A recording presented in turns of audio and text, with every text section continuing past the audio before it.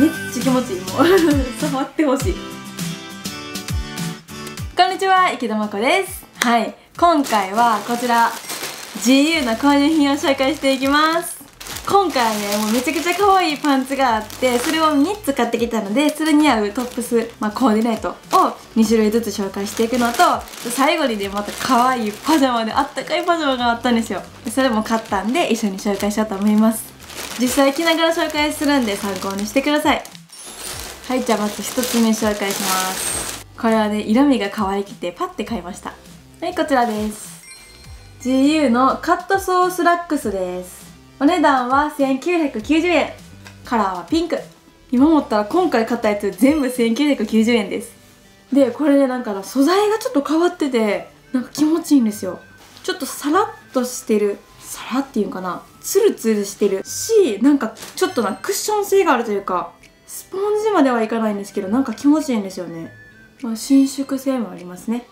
で前はボタンとファスナーになってて後ろがゴムになってます。こんな感じです。めちゃくちゃ履きやすい。でベルト通すところもあるんで、まあ、ベルトつけて履いてもいいしこのまま履いてもいいしってなります。はい下はこんな感じですね。で前に2つポケットもついてます。じゃあ履いてみます。はい実際来たらこんな感じです。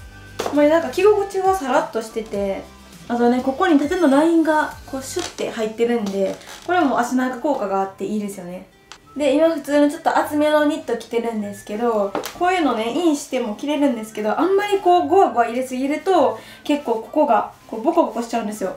それだけ気をつけてちょっとこう緩く出しながら着ると目立ちにくいと思います。でもほんまにこうやってなんかめちゃくちゃ動きやすいししゃがんだりとかしても全然大丈夫やしめちゃくちゃ楽ちんで色味も可愛くてすごい着心地のいい服です。でちょっと今こんな感じのゆるいトップス合わせたんですけどこれタイトな服とか着たらめっちゃ合うんですよ。どこ行った？はいちょっとタイトめな服合わせるとこんな感じになります。こういうタイトなものにしてもうウエストも出してでヒールとか履いてあげるとね足長効果もあるしこうやって見ても下が結構こうちょっと広がったような感じになるんで余計にトップスをちょっとぴったりした感じにしてあげた方が華奢にも見えてスタイルがよく見えます。これちょっと今ハイネックなんでなんかちょっと軽く髪の毛かくったりとかしてもなんかちょっとかっこいい感じに。あ顔見えへんかったわ。着れると思います色味も今これちょっとベージュっぽいカラーなんですけど普通に白とかでも合うしブラウンとかも合うと思うし同じようなぐらいのトーンの色味持ってきても可愛いと思います。はいこれが1つ目のパンツでした。はい次はねもう柄が可愛くて買いました。こちら。タックコクーンシルエットパンツです。お値段は1990円。見てくださいこれチェックになるんですけどベージュとブルーのラインが入っててめちゃくちゃ可愛くないですか？でこれも同じ前がボタンになってて下ファスナーで後ろがゴムです。ほんまゴムってめっちゃ楽ちんよな。でこれもね前に2つポケットがついてます。生地は結構薄めなんで、まあ、今回紹介したやつ全部春の新作なんかな。結構涼しい感じで着れます。で形がコクーンシルエットということでちょっとねこの太もも周りが膨らんだようなデザインになります。私このコクーンタイプのパンツ苦手なんですよ実は。だけどもう柄に惹かれて。でしかもなんかねこれ色違いとかもあっていろいろ履いたんですけどグリーンも気になって。グリーン履いたらなんかすごいそのここが強調されるなと思ったんですけどチェックやとなんかまだマシな気がしたんですよね。これはいけるわと思って。買いました。履きます。はい実際履いたらこんな感じです。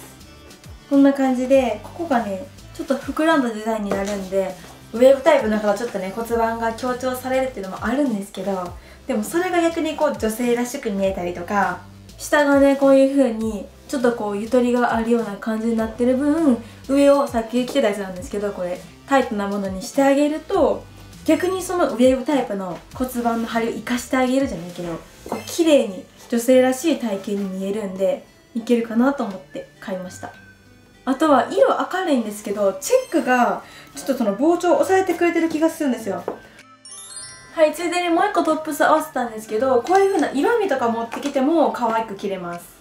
はいこんな感じでねパンツが結構春っぽい色味なんでここにこういうまた春にぴったりなカラーとか合わせても同じようなね色のトーンですごい可愛いと思うしここにベージュが入ってるんでそれこそ、まあ、こういう感じのベージュ、まあ、これぐらいの薄さやと結構馴染んだ感じにはなるんですけどもうちょっと濃いベージュとかブラウン持ってきても可愛いと思うしブルーも入ってるんでねブルーの服合わせてみたりとか全然色味の服とか着ても可愛いです。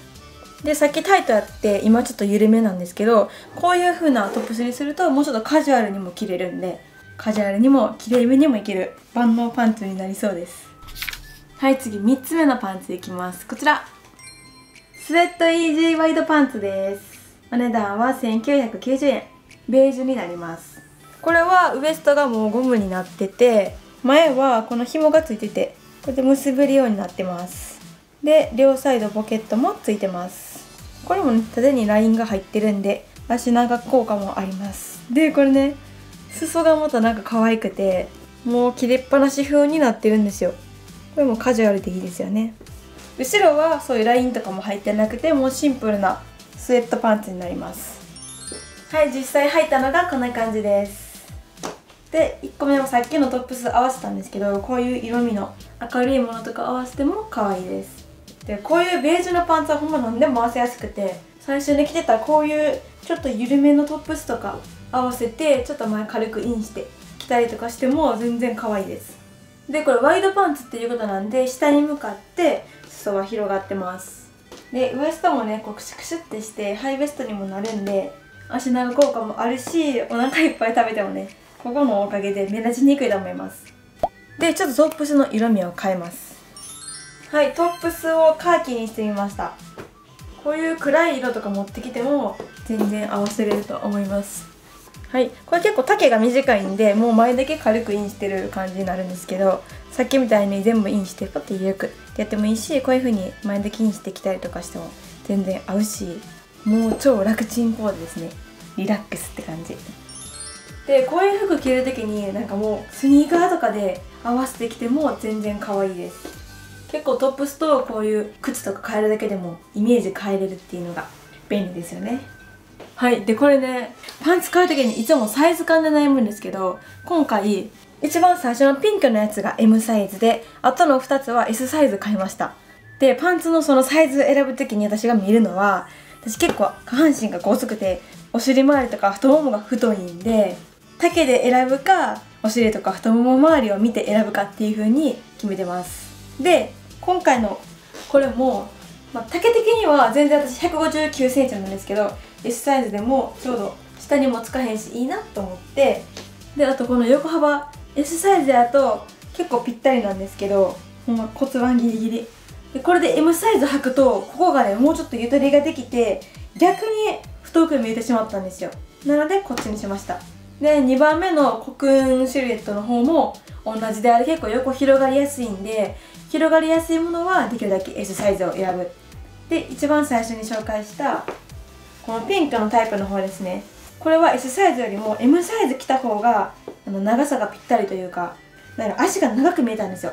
S サイズだともういいシーンがぴったりぐらいやったんですけどそれに服入れるとかを考えるとちょっとゆたりあった方がそのボコボコが目立ちにくいなとか思って M サイズにしました。っていう風に洋服によってサイズとかまで結構変わってくると思うんで試着することをおすすめします。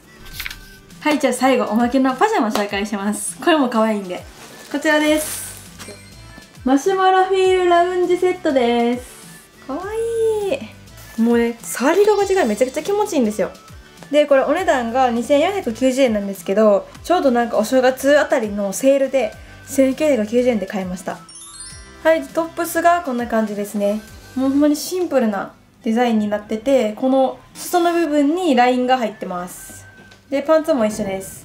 パンツはこのウエスト部分にベージュのねリボンがついてます。サテンリボン。で裾の部分がさっきと同じようにラインが入ってます。